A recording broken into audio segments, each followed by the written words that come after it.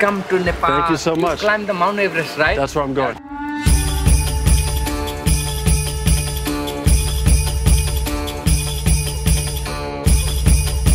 Kathmandu. It is here that I will begin to explore the captivating country of Nepal. In Nepal, Pashupatinath is biggest temple. Yeah, she will. That ended in 2006, right? Yeah, yeah, she will work here. And the next bank, you can see the body cremation is happening there. I've never been to this country before. I've never been to the Khumbu Valley. never been to Mount Everest. It's not about this mountain. It's about you guys. Becoming a mountain guide, it's not easy. I want to say all girl, you should come and you can you can follow your dream. To Camp 2 it looks okay and after that I'll let you know. What piece of advice would you give someone? If you want to climb the mountain and go back to your home, uh, just uh, prepare for it before you come here. Be scared and be intimidated and be humble. There's a lot of crevasse, open crevasse. I came to Nepal on a quest to explore this captivating country, but I leave with so much more.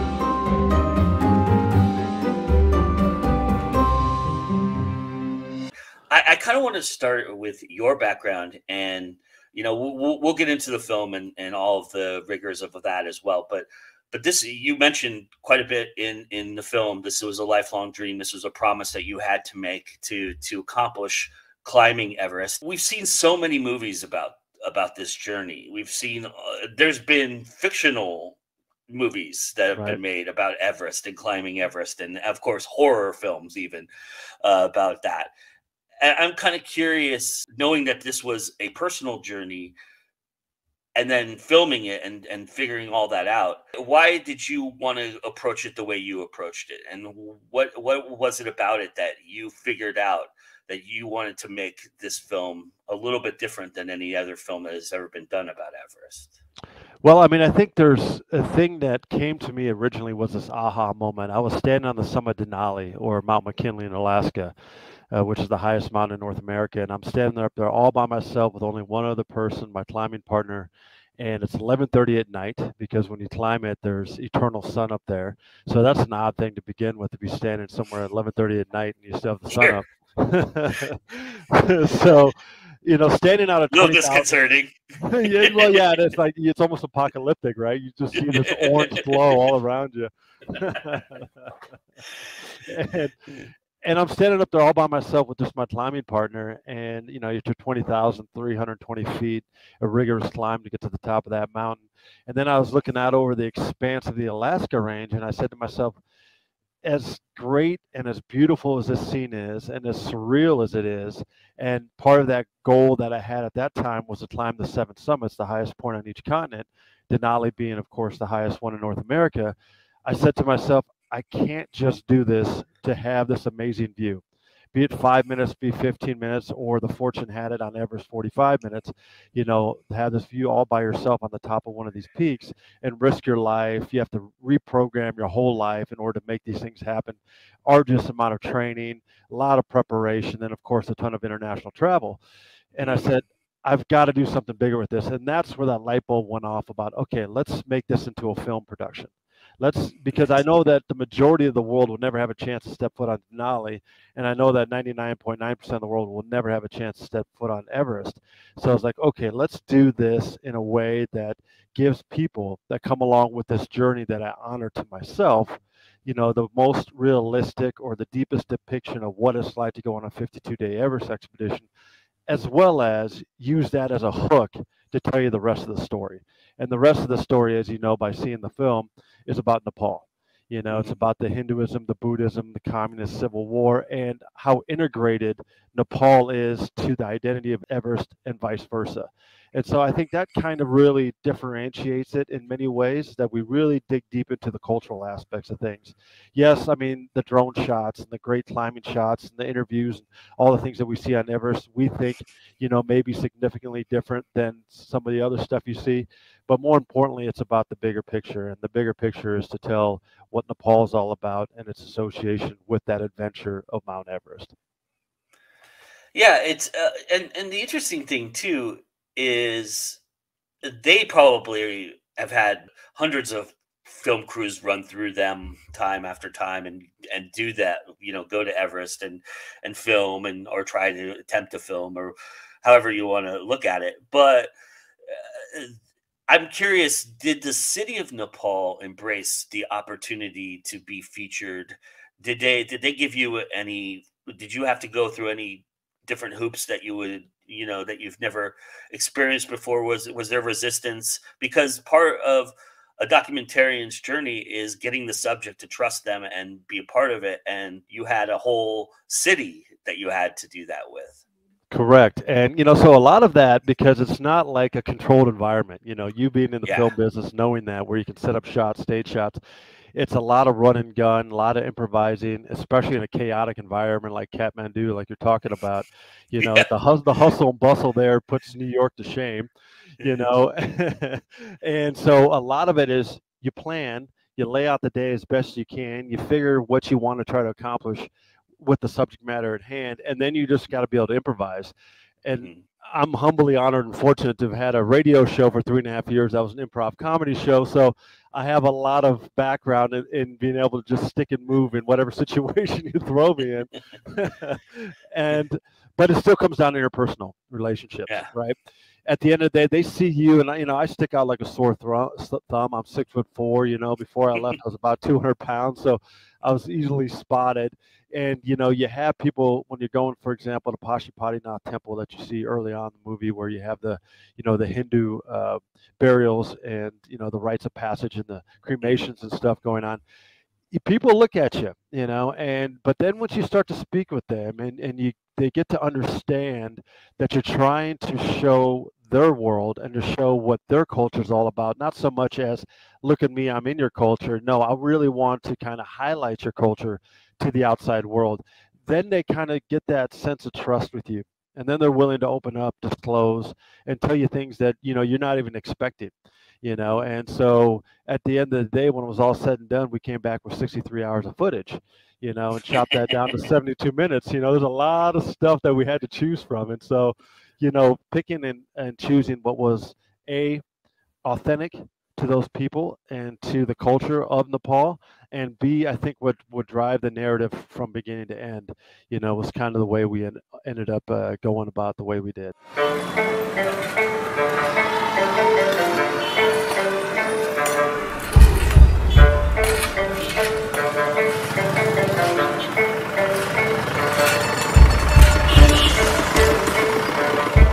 My name is Alex Harz.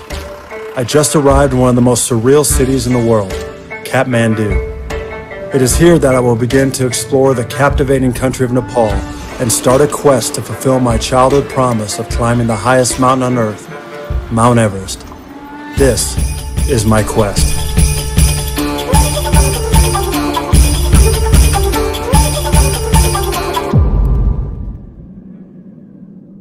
You know, the interesting thing about uh, documentaries that I've oh, I, I, love talking to documentarians about is the idea that you do have something solid. You might have a game plan. You might even you might even be winging it. Who knows?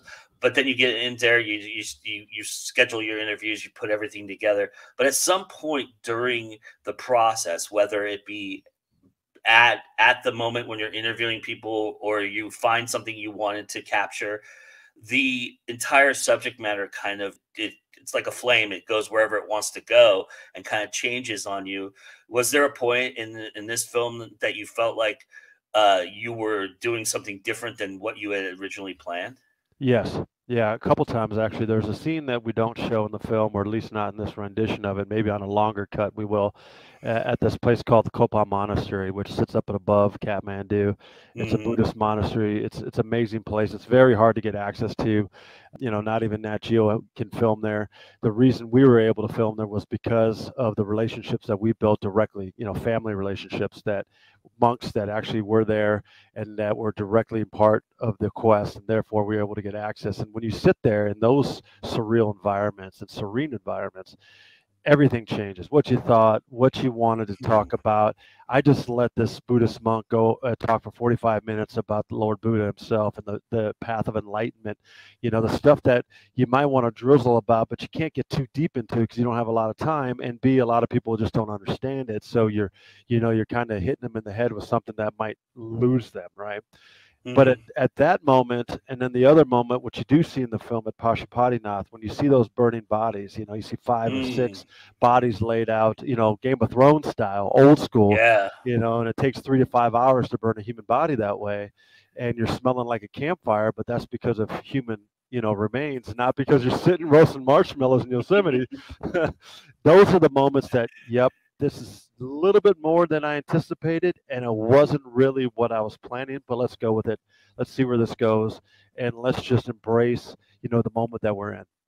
Mm.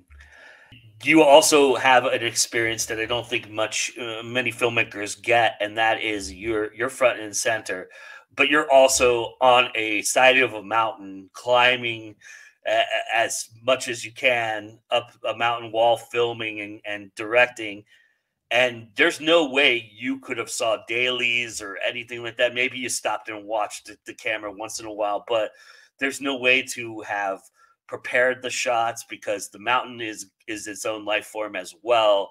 And i'm kind of curious from that perspective the you know uh, did you mentally prepare for that before climbing? Did you did, did you talk? Did you guys pre-plan? Was there pre-production involved in that because you wouldn't be able to see this footage until you were back in the states editing it right Y- Exactly. So, I mean, uh, let- let's put it this way: we did a lot of planning. You know, I did a lot of investigation on Everest. You know, I dreamt about it since I was a young boy, as you hear about in the film. Uh, And everything that I visualized, everything I've seen, I've seen everything you can imagine, read everything I can imagine. Went through formal mountaineering training for years and years and years, all for that moment. Uh, but as soon as I stepped foot in the Khumbu icefall, threw it all out the window. Every, every everything that I thought I knew about Everest and everything I prepared for, it was a different ball game because as soon as you step foot in that ice fall, it's like playing Russian roulette, and it's just it's literally right place, right time, wrong place, wrong time, and and so then you're like, okay, the ice wall itself moves at six feet a day, up to six feet a day downhill, so it's constantly changing. So you never go through the ice fall the same way, and you have to go up and down the mountain a couple times to acclimatize your body. So you just don't go in one sitting up Everest. I mean, it takes nine days to trek there, and then it takes another 43 days to climb it. So it's a long, long process. And then, of course, being the first time to Everest, I didn't have a reference point of okay. I've been to Camp One before. I've been to Camp Two, Camp Three, Camp Four, South Col. You know the the balcony, Hillary Step. Never been to these places. I've only seen them on on movies. And so when you actually have to Eh, get there and try to set up shots and then plan it and then still climb, then not fall into a crevasse or get hit by an avalanche and all the different things that happen, or your battery's freezing, or your camera's fogging up or not working at all because it's 40 below zero. All these different scenarios you can think you plan for, but then when you get there, you just got to deal with it. And then, first and foremost, the biggest limiting factor to even getting any of this content is being able to climb the mountain. And that, Yeah. of course, is by far the hardest thing I've ever done. Even being a college athlete, that was a walk in the park compared to climbing Everest.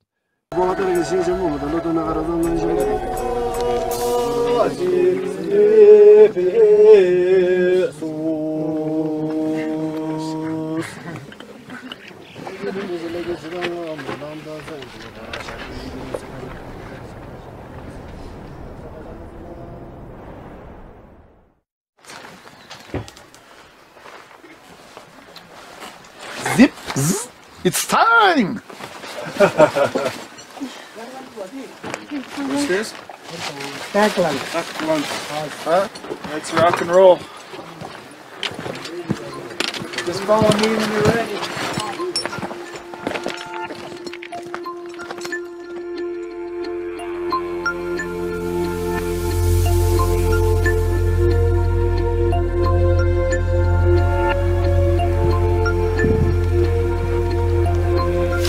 Nowhere in the world will we climb a huge maze of collapsing ice towers the size of cars and buildings to reach a summit, except on Mount Everest.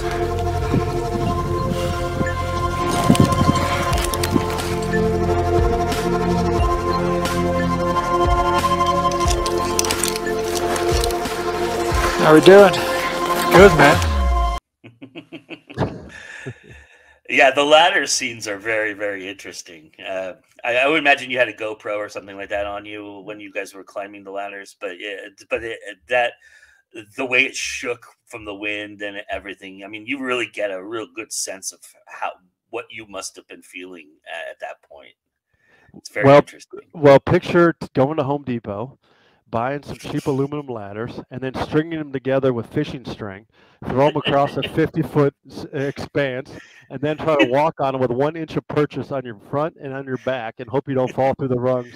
And that's like you're right. They bounce up and down because of the swaying of the body weight and because they're held together by fishing string, and then of course wind and so on, and the angle of the crevasse. It's not like a nice, perfectly flat, level ground like your great driveway.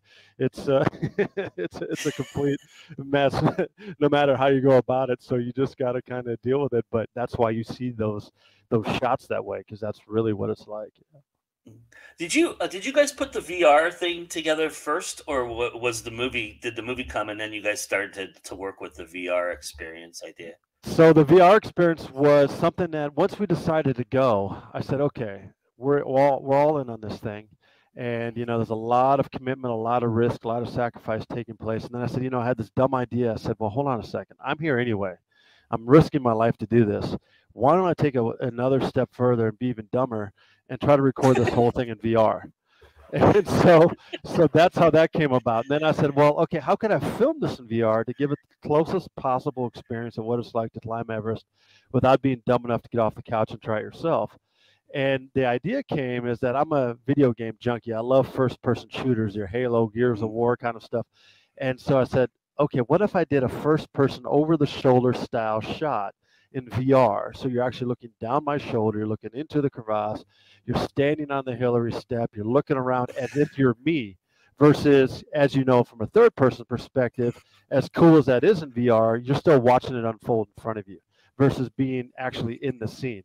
And so that was the dumb idea. So I was like, okay, well, why don't I strap this VR camera to my back? and then let's, uh, while I'm filming the 2D, let's also film the VR and climb this thing and see if we can get it all. And again, I'm humbly honored and fortunate to have come down with 63 hours of content. There is no place like the country of Nepal.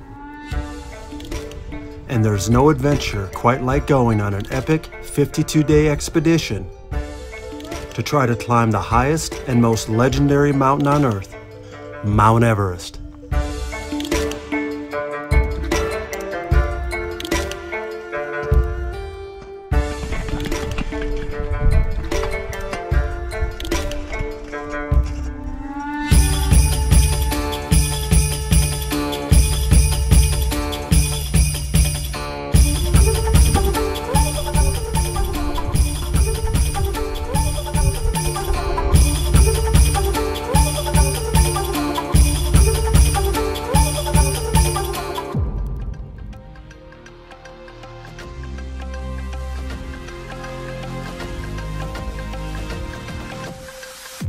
What it's like to tiptoe across swaying aluminum ladders and weave your way through the deadliest maze on Earth as you climb to the vertical limits of what is humanly possible with explorer Alex Harz on a one-of-a-kind, real-life virtual reality quest to the top of the world.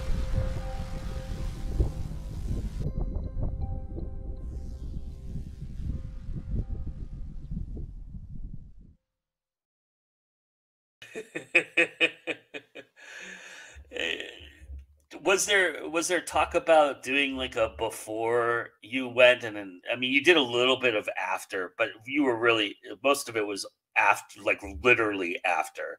Mm-hmm. Uh, for spoiler alert, he makes it to the top. Everybody, I, I, don't think that you know. I don't think there's a, a we wouldn't be talking if he didn't make it to the top. I think, but but but uh, you know, you, you do spend time in the in the in the hikers cafe and everything like that. The, the wonderful things that we know about Everest that when you accomplish that, you get to experience and. Uh, but that's where it ends. Did you ever have? I mean, obviously you had 63 hours of footage, so you didn't need this. But was there ever a plan to kind of do a prep before and and maybe do some after a little bit down the road kind of idea? Yeah, there was actually. We have some filming of some training that that I did. You know, because I was training seven days a week. You know, for a Mm-hmm. whole year with no exceptions, two to three hours a day. Stop drinking, all that stuff to prepare myself physically for the climb. And so we have some of that documented. Uh, and we were going to document some of the post stuff, but then once we got back to Kathmandu, you know, it just kind of chaotic nature of at the end of an Everest expedition. Uh, that's kind of hard to then try to you know get get saddled back up to to energize the film. The everyone is just wanting to eat everything they can, drink everything they can, and then just sleep as much as they can. And so, uh, you know, that was kind of thrown out the window. and then, of course, I was flying back around the world. I had to go through Malaysia, then I had to go through the Philippines and Japan. So by the time I got back home, it was over another month uh, from the time I left Kathmandu. So at that point, uh, you know, it was already the writing on the wall. But as you may have read or may not have read, it's an ongoing series. So it's an ongoing Yeah. immersive series. So we already have the next four iterations kind of laid out, uh, depending on the time of year, depending on geopolitical factors, on whether or not we can go to these locations, COVID, you know, as well. And uh, so at the end of this summer, uh, beginning of the fall, we'll start to lay out where we're going to go next and probably use a very similar model to what we did here. Is the training going to be similar, or do you feel uh, uh, now that you've had acclimatized yourself to that you can train a little bit less? I mean, I, it's it's going to be similar but not as uh, extensive. And and it's that, that has to do with the locations that we go to and it's going to be case by case. So each different location is going to dictate the amount of training that's needed and how intense it is because the one thing you don't want to do is ramp yourself up you know tear your body down and then all of a sudden something happens and you don't go. So it's you want to prepare when you know everything's set in stone okay we got the flights we got these locations we're going here. All right so now let's train for the next three months four months you know again seven days a week and get ready for this. But i uh, highly doubt uh, I should say, knock on wood, not likely that any of my training moving forward from here is going to be nearly as arduous as it was going for Everest. Yeah, well, yeah, climbing the highest peak in the world, you, you you almost feel like Superman at that point. You know, I would imagine. Well, you know, it's funny because that mountain is kryptonite. I, I left here in the best shape of my life. Um, I was about 197 pounds, four to six percent body fat. I was running one to two marathons a week, and by the time I got back to Kathmandu, I was 170 pounds. I lost 27 pounds of pure muscle mass, had nerve damage in all 10 of my toes, and I was the lightest that I was since I graduated high school. Wow, So. the things we do to to make art, right? Right, right, right, right. There's always that fine borderline between insanity and, and making a calculated decision. Are the is the series going to reflect like like this movie does, where you do a little bit about the city you're in, and then and then climb them and do the climb? Is that kind of the idea? Yeah, exactly. So we're going to use again in, in the upcoming insta- installments uh, adventure as the hook to tell you the rest of the cultural stories, you know. And so so that kind of meshes a little bit, you know. Essentially, if you want to break it down into three known names, you know, that people like to do a lot in Hollywood, take Werner Herzog, mix him with Anthony Bourdain, and a little bit of Bear Grylls, and that's kind of what you got. You got these epic quests, you know, to try to tell these deep cultural stories and rarely seen stories that you normally wouldn't see, especially in the West. You know, we we are very sheltered when it comes to content like this because, you know, let's be honest, a lot of people, if you go down the street and ask them where's Nepal, they couldn't tell you where it was on the map. And Yeah. if and if you didn't know about Mount Everest, you would never know about Nepal. So that's why we use Everest to tell you the rest of the story about Nepal. And so we'll use a lot of that kind of uh, philosophy for the other installments as well, so we can really dig deep into these rarely seen stories that you don't see, and then hopefully get you entertained and get you educated along the way. How different? I, I, obviously, this is a life ex, life changing experience, and uh, you know, you're a different human being, as you mentioned. You're physically different and mentally different, I would imagine, and spiritually different, and everything like that. But I'm kind of curious. Did are you different now as a filmmaker from having this experience? Is there something that you took away that you're going to adapt to the next thing you do? Yeah, absolutely, absolutely. Because originally my filmmaking prowess or chops was was more into comedy, and it was mm-hmm. more into dramatical stuff. And you know, but but ironically, my favorite style of filmmaking is twisted dark comedy, off the wall stuff. You know, maybe even offensive to many, and and then documentary filmmaking, really deep, rich, cultural Werner Herzog kind of stuff. You know, even interpersonal Bourdainish kind of stuff. So those those dichotomies couldn't be farther apart from each other, but at the end of this uh, quest, it really told me that, okay, this is probably the road that I want to focus on with regards to my filmmaking perspective, as well as my filmmaking path, versus going back to some of the other stuff I did that I really like. But I think that this might have more benefit for the overall audience on a long term basis. Nice. So, what is it, Alex, that you love about being indie? What is it about indie film that you just gravitate toward? Well, I think what I gravitate uh, most towards about it is the freedom and the diversity of be, to be able to do what you think is the story you want to tell, right? Whether or not you ever finish that story, because as you know, as an indie filmmaker, you know it's it's a tough road, and mm-hmm. whether or mm-hmm. not you get to continue to tell stories, you don't know. But what you do know is you have a passion and ability. If you have the the luck and the fortune and the timing to put it all together, you know you can do something that you're not constrained by, let's say, other forms of media, or even if you're in more of a structured environment in a filmmaking environment. So I think that's probably what I like the most is say, okay, I can collaborate with people that have a very similar philosophy or have a similar vision on what you want to do with XYZ film. And there's really no handcuffs on it as long as you're able to stick it through. And that's something that indie film offers that I don't think that your traditional filmmaking uh, give you that gives you that luxury all the time to do. Hello, my name is Alex Harz. As a filmmaker, mountaineer, and radio host, I want to utilize these diverse skills to take you on a one-of-a-kind quest. As a kid growing up in Omaha, Nebraska, on the American Great Plains, I began dreaming of climbing big mountains. When I moved to the Rocky Mountains of Colorado, I fell in love with mountaineering and rock climbing.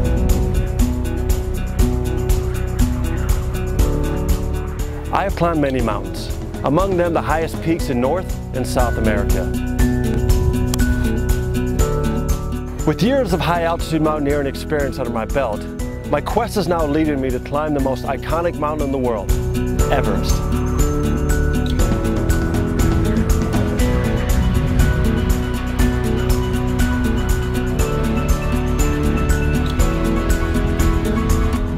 Join me on a live streaming adventure like nothing seen before and help me make history every step along the way.